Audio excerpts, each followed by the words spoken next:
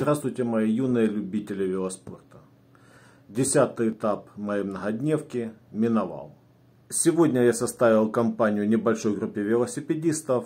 Без малейших угрызений совести я уселся в хвосте группы на колесо и так проехал порядка 70 километров.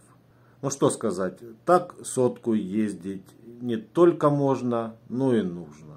Ты едешь как в купейном вагоне, тебя везут как хрустальную вазу, указывая направление и обращая внимание на все неровности дороги. Ты едешь и в ус не дуешь вообще просто. На полном расслабончике. Ну и, конечно, все хорошее рано или поздно заканчивается. Последние 30 километров пришлось ехать в Аддухарию, и это уже совсем мне не очень сильно понравилось. Было жарко и тяжеловато но тем не менее продолжаем наслаждаться последними теплыми денечками, потому что на следующей неделе нам обещают похолодание, дожди и все теплые приятности закончатся. И тогда я взвою совсем по-другому.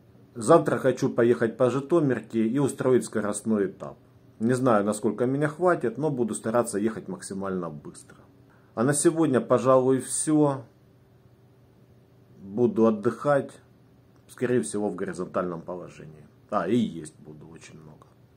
Все, всем пока, до завтра, до встречи на десятом этапе. Или на одиннадцатом уже, на одиннадцатом. Или десятом. Ну, короче, на следующем этапе.